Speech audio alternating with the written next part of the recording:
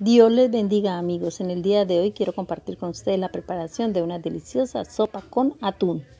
Sí, atún en lata, pues suena como un poco, poco común, pero la verdad que la, la hice y queda deliciosa. Ingredientes.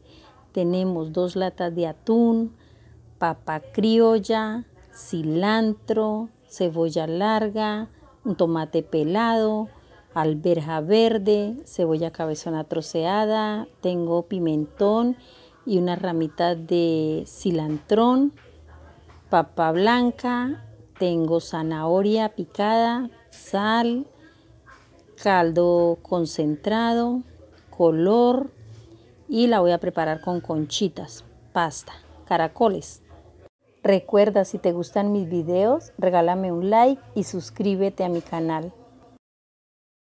Lo primero que vamos a hacer es a poner en la picadora el tomate, el cilantro, el pimentón, los ajos, la cebolla cabezona y vamos a picarlo todo para el guiso.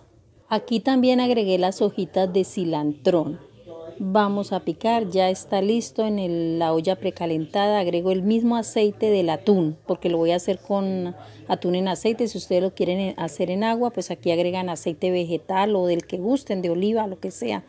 Vamos a agregar todo lo que picamos, agregamos el color, agregamos la sal y el caldo concentrado. Esto lo vamos a dejar sofreír muy bien. El mensaje para hoy.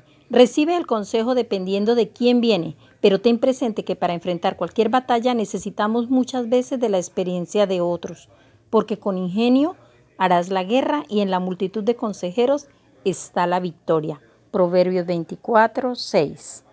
Bueno, cuando esté bien sofrito agregamos agua, eh, agregamos la papa criolla, agregamos la papa de año, la he troceado así en cuadrito y vamos a agregar la zanahoria.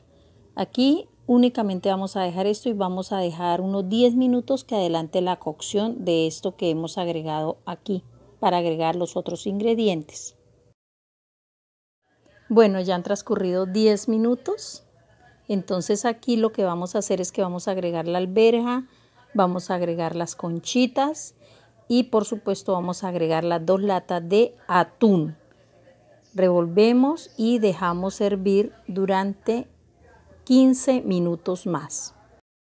Transcurridos los 15 minutos, listo, revisamos y ya está nuestra más deliciosa sopa con atún. Espero la preparen, eh, es muy deliciosa. Yo pues la verdad es la primera sopa que preparo con atún, pero queda espectacular. La he acompañado con albóndigas, arroz blanco, una papa y una deliciosa ensalada con jugo de lulo. Bendiciones.